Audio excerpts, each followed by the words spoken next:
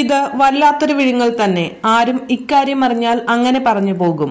കാരണം പത്താം ക്ലാസ്സുകാരിയുടെ ആമാശയത്തിൽ നിന്ന് കണ്ടെത്തിയത് രണ്ടര കിലോയോളം തൂക്കം വരുന്ന മുടിക്കെട്ടാണ്.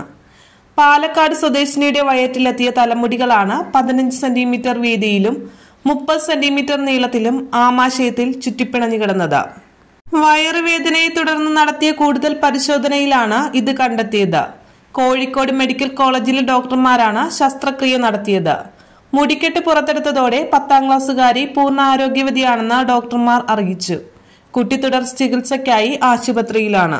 ആമാശയ രൂപത്തിന് സമാനമായ മുടിക്കെട്ട് ആഹാരാംശവുമായി ചേർന്ന് ട്യൂമറായി മാറിയിരുന്നുവെന്നാണ് ഡോക്ടർമാർ അറിയിച്ചത്.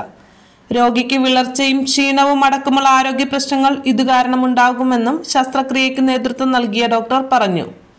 സർജറി വിഭാഗം പ്രൊഫസർ ഡോക്ടർ വൈ ഷാജഹാന്റെ നേതൃത്വത്തിൽ ഡോക്ടർമാരായ Vaishakh Jerry Jithin Anjali Abdul Latheef brother Jerome എന്നിവരും പങ്കെടുത്തു.